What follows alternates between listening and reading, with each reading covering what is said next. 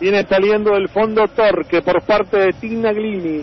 Este que la viene dejando para la ubicación de Orihuela. Ahí sale Orihuela del fondo dejando la corta seguramente para que llegue Milesi. Él le tiene Milesi. La para en el círculo central, gira. La pone a la derecha para Agustín Peña. Ahí se viene Peña, centro al área. Muy bien mandado. Entraron varios, entró Ceballos. No llegó. Le quedó para Álvarez. ¡Remate!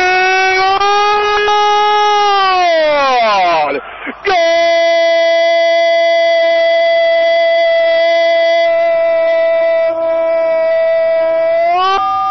Porque José Álvarez tira el centro de Peña, muy bien mandado y la cazó con pierna zurda para meterla abajo contra el tempelo, contra el palo izquierdo y el equipo celeste le regala un solo a sus hinchas en esta noche del Estadio Centenario.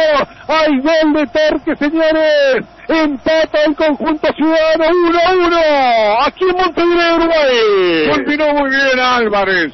Había generado anteriormente situaciones claras no bien resueltas el equipo de Torque. Acá vino el centro pasado desde la derecha y le pegó de zurda como venía allí Álvarez, que había sido el mejor en ofensiva del primer tiempo y empata merecidamente Torque. Señores, premio para el que más quiso en este segundo tiempo y es el Montevideo City Torque. Buen centro de Peña en esta oportunidad, el segundo palo.